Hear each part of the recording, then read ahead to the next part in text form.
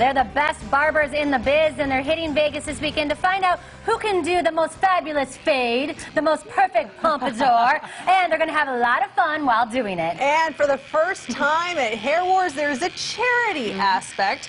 Here to show us how it's done, Louis Merlot, hard at work.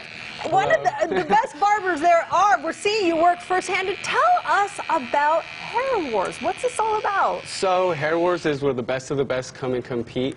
We have different categories. We have the fastest fade, the freestyle design, female barber, and they come and compete for bragging rights, trophies, cash, and it's just a great environment for barbers and stylists in the industry. It's interesting to watch him work his right. magic A lot here. of trends, I think, come out of Hair Wars too, right? Yeah, you see, um, a lot of people get signed to companies. They get sponsorships. You get Oh, new cool. ideas on what to do. So it's great seeing all these um, great barbers just clash at one place. All right, we got Nathan here as your fabulous model because this time you have a charity aspect regarding kids. So tell me about that. Yeah, it's called Fades for Kids. So we know that there's a lot of families who um, are going through difficult times.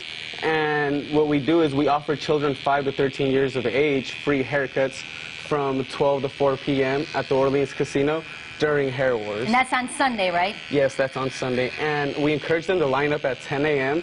because it's like Black Friday. It's first come, Oh, first, yeah, I bet. first come, first served. And these are professional barbers that are going to be giving haircuts. You're not going to get the most intricate design, but you're going to get a really clean haircut that, that will at least um, boost your um, confidence at school. Absolutely. and speaking of intricate designs, I'm kind of looking at what you've got going on with Nathan here. What what are you doing exactly? So? I'm giving Nathan a fade, which is the most common haircut that there is out in the summer. And after I give him a fade, I'm going to line him up so he can look really clean. And we're going to give him a design on the side like everyone requested. Oh. Yeah, it's going to be awesome. We're going to actually reveal that final product later in the show, so you got to stick around for that. What's your favorite part about Hair Wars? I know you're the founder of it. Why'd you do it? What were you inspired by? Um, what happened was all these big beauty shows weren't having competitions for barbers. Mm-hmm. They had makeup competitions, female styling competitions, but nothing for barbers.